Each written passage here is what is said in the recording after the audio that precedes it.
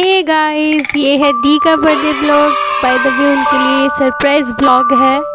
I hope you like that तो ये है हमारी बर्थडे गर्ल और उनका प्यारा सा बेबी जो कि बहुत शरारती हो गया है. पहले ही अपने हाथ पर मुँह सब बिगाड़ चुका था ये. और यहाँ इसके साथ साथ हम लोगों की भी मस्ती चल रही है. Now it's your time to guess कि इसकी नज़र कहाँ है.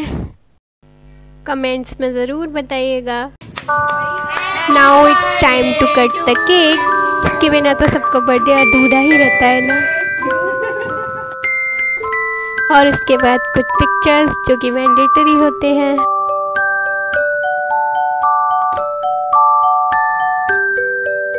घर पे सेलिब्रेशन के बाद हम लोग गए थे पिज़्ज़ा पार्टी करने।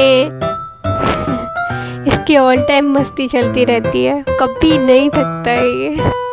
और इसको देख के हमें भी बहुत अच्छा लगता है। अपना बचपन याद आ जाता है ऑलमोस्ट ढेर सारे वेट के बाद फाइनली हमारा ऑर्डर आ गया। एक फनी बात पता है क्या? चलिए वीडियो के एंड में बताऊँगी। और ये है हमारी पूरी बच्चा पार्टी जो फुल एंजॉय कर रही है, चाची का बर्थडे और यहाँ पर फिर से बेटू की मस्ती चालू हो गई है। इस पे मस्ती के अलावा और कोई काम नहीं रहता है।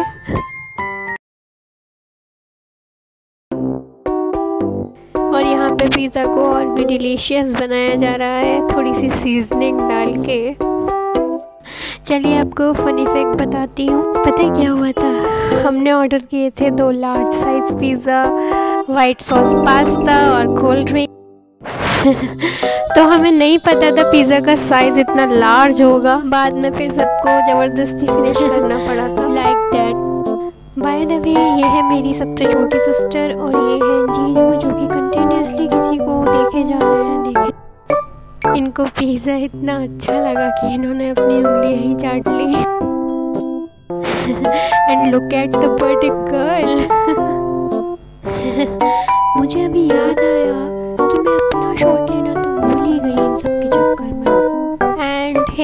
मी तो ये था मेरा छोटू सा ब्लॉग। आई होप आप लोगों को अच्छा लगा होगा।